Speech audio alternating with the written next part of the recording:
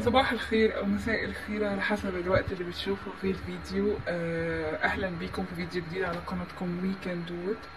آه، النهارده الفيديو آه، زي ما باين من العنوان بيستهدف شرح مفصل ولكن بإيجاز طبعا عشان ما اطولش عليكم وقت الفيديو عن كل أنواع التركيبات الثابتة أو المتحركة. وهنتكلم فيها عن أنواع التركيبات الثابتة أو المتحركة وإمتى أعمل التركيبات الثابتة أو المتحركة. هنتكلم عنها من حيث الميزات ومن حيث العيوب من حيث كمان نوع اللزق المستخدم من حيث كمان آه، برد الأسنان اللي كتير عفوا اللي كتير مننا آه، بيكون آه، ما يعرفش عنه معلومات كافية قبل ما بيقدم عليه. آه كمان هنتكلم عن آه لو آه عملت برد الأسنان خلاص إيه اللي المفروض تتابعه بعدها. هنتكلم كمان عن مدة التركيبات دي قد إيه والعناية بالتركيبات إزاي.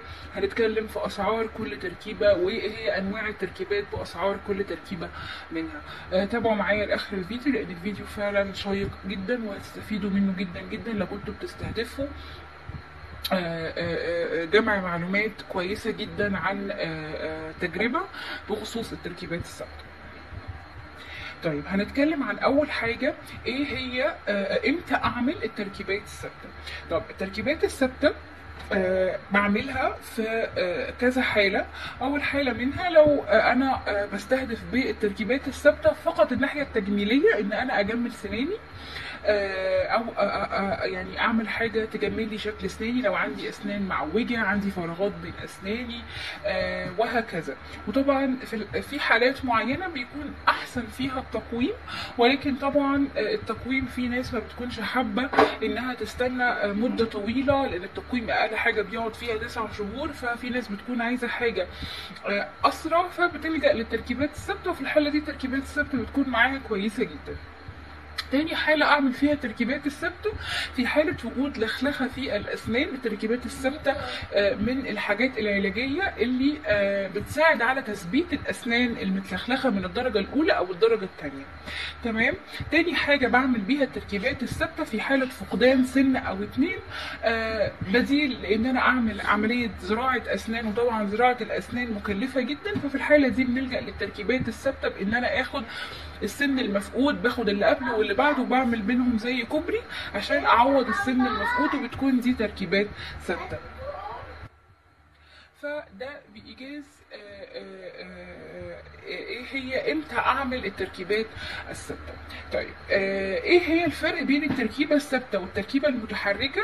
التركيبة الثابتة ان أنا بعمل تركيبة بتفضل قاعدة على السنان آه، من مدة تتراوح ما بين خمس سنين إلى آه، عشر سنوات بحد أقصى وساعات بيقعدوا 12 و13 على حسب طبعا العناية بالتركيبة وعلى حسب طبيعة كل بني آدم. تمام؟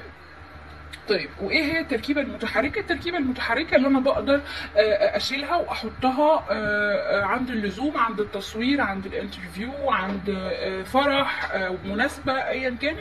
تركيبة بتتشال وتتحط.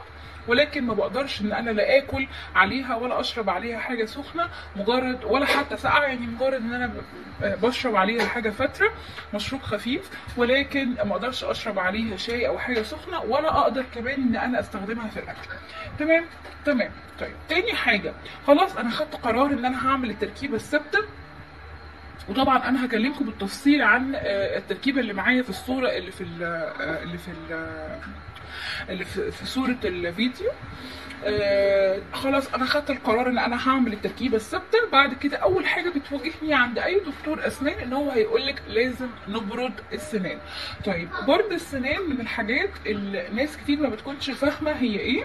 آه برد السنان دي طبعا كل آه، كل كلنا ربنا بيخلق لنا سبحانه وتعالى طبقة اسمها طبقة المينا على أسناننا. طبقة المينا دي هي اللي بتدي الأسنان اللمعة أو بتدي للأسنان الملمس الناعم أو الملمس اللي اشبه ملمس السيراميك كده شوية. وبتحميها طبعا من حاجات كتير جدا. بتحميها من من من من الصبغات وبتحميها من آه، آه، بتديها صلابة وبتديها قوة. بتحافظ على عمر السن. آه، بتحميها من أمراض كتير جدا ممكن تصيب الأسنان. وبتحميها كمان من السقوط ودي يعني أشهر فايدة لطبقة المينا بتاعة الأسنان.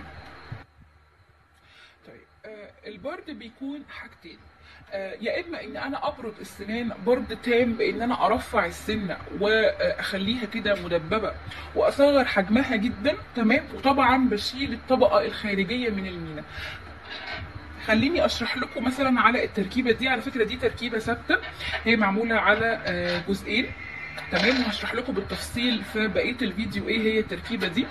طيب خليني أشرح عليها. لما الدكتور بيجي يعمل البرد بيبدأ إن هو يرفع السنة من هنا ومن هنا ومن فوق بيخليها عاملة زي الدبوس كده. تمام؟ زائد إن هو بيشيل طبقة المينا إن هو بيجيب جهاز وبيكحت كل الطبقة اللي بره السنة دي. فبالتالي بيخلي السنان على طبقة العاج اللي تحتيها بتكون حاجة زي الحجر كده حاجة خشنة جدا لونها بيصفر جدا وبتبقى كأنها ميتة يعني. وطبعا وانس إن الدكتور برد لك السنان بالطريقة دي اللي هي الطريقة الأولى اللي أنا ذكرتها خلاص ما ينفعش تقعدي من غير تركيبة لازم طول حياتك تفضلي عايشة بالتركيبة الثابتة. طبعا مش المتحركة. طالما حصل برد للأسنان بالطريقة دي لازم على طول نفضل نعيش بالتركيبة الثابتة. طيب ده أول نوع من أنواع برد الأسنان. تاني نوع من أنواع برد الأسنان هو مجرد إن هو بيعمل لك تخشينة بسيطة خالص من غير ما يرفع السنة ولا يجي عند حجم السنة الأصلي. بيحفظ سنانك بشكلها الأصلي اللي ربنا خلقك بيه من غير ما يلعب خالص فيها ولكن مجرد بيعمل صنفرة خفيفة خالص للسنه وبتكون طبعا دي علشان هو بيبقى عايز يخشنها شوية علشان لما يلزق عليها التركيبة التركيبة تمسك واللزق يمسك وما تتأثرش بالملمس الناعم للسنه وفي الحالة دي عادي جدا ممكن بعد كده بعد سنة اتنين تلاتة حابة تشيلي التركيبة وترجعي بسنانك الطبيعية تمام جدا مفيش أي مشكلة. فده نوعين برد الأسنان. طبعا أنا بفضل النوع الثاني إن انت ما تلعبيش ابدا في برد أسنان في شكل أسنانك أو في آه، طبقة المينا آه، عشان تحتفظي بشكل يعني تحتفظي بجودة سنانك آه، طول عمرك وما تضطريش بعد كده إن انت تبقي ملزمة تركبي ممكن دلوقتي حابة تركبي تركيبة ثابتة بعد كده ظروف مش سامحه انك تجددي التركيبة مثلا لما تقع تبقي محافظة على أسنانك الأصلية. دي بالنسبة لبرد الاسنان طب إيه هي أنواع التركيبات؟ التركيبات المتعارف عليها آه، عند أطباء الأسنان حاليا هم نوعين. أول حاجة هي طبقه هي تركيبات البورسلين تاني تركيبة هي تركيبات الزيركونيوم أو الزيركون.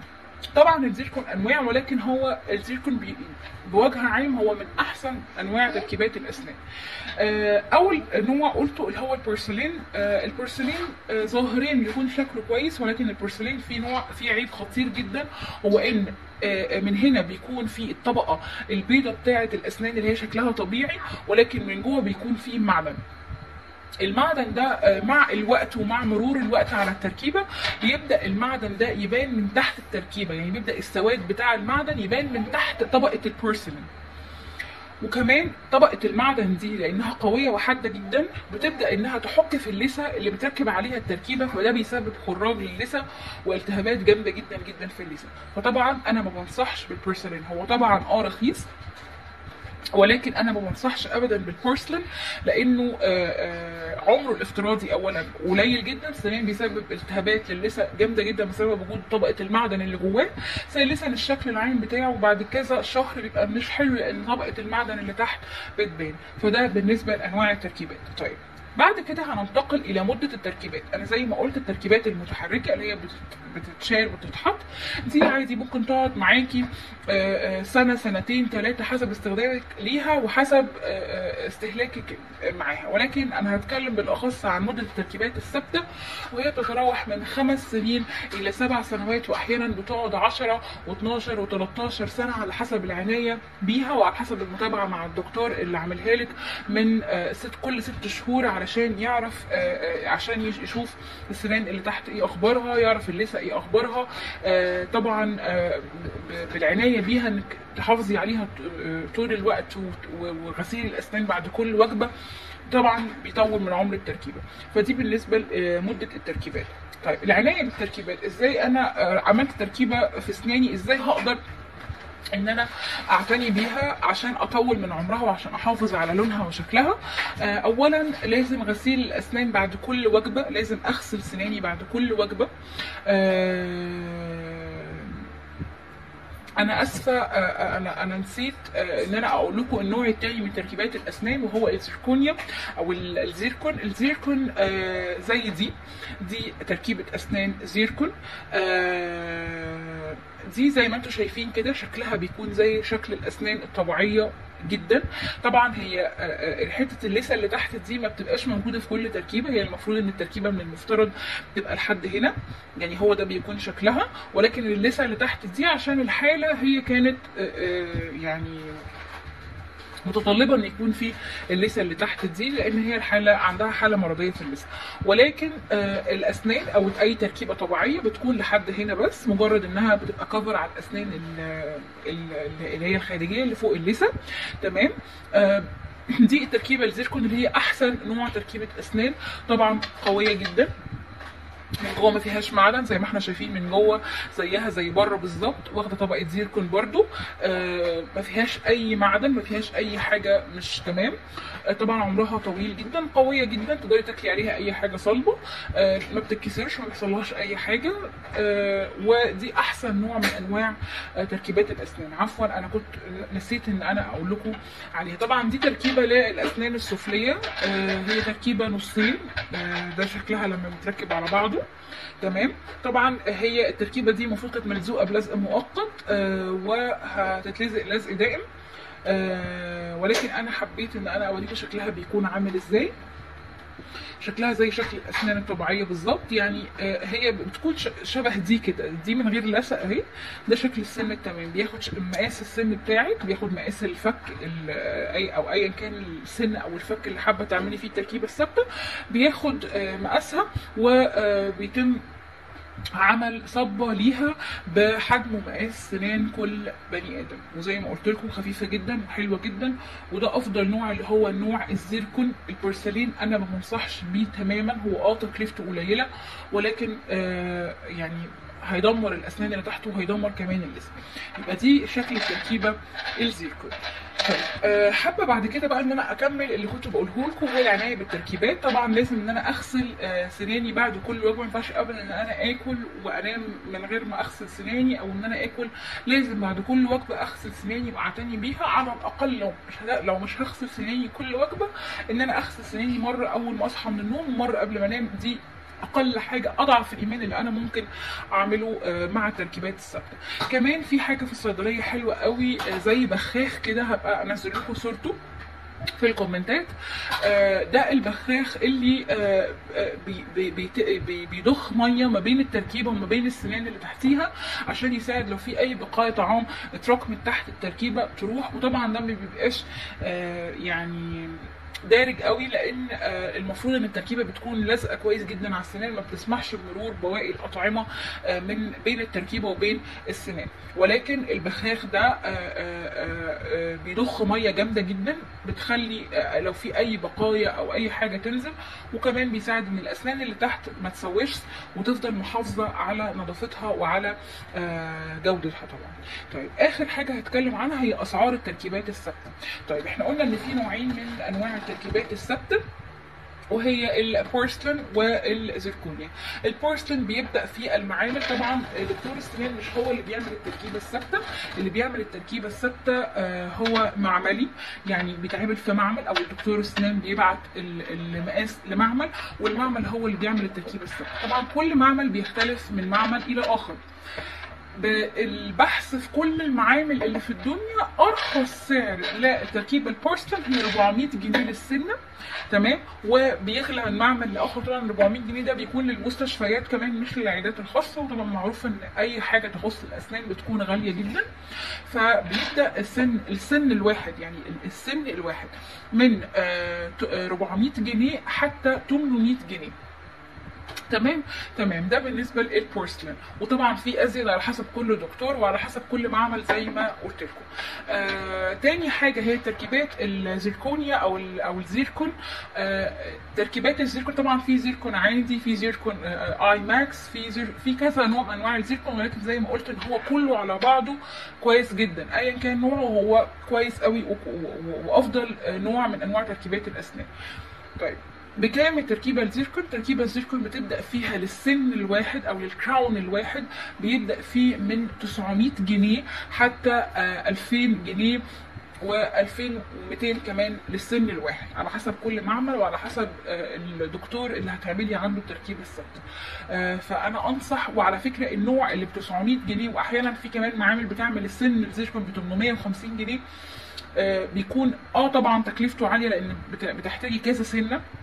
ولكن مثلا لو هتعملي كوبري ثلاث دروس أو كوبري أو, أو درسين أو أو أو هتحطي طربوش من الزيركون أو كده آه، حلو جدا معمر جدا هيقعد معاكي بالعشر سنين هتنسيه في بقك فطبعا حلو جدا جدا جدا. وآه هندفع كتير ولكن هناخد حاجة آه، هتنسينا الموضوع فترة.